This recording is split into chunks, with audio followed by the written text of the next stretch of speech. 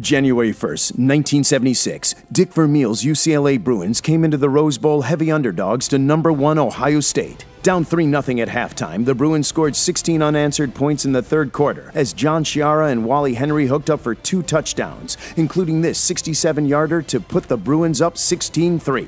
Wendell Tyler's 54 yard touchdown run in the fourth put the game out of reach as UCLA shocked Woody Hayes Buckeyes 23 10 the final.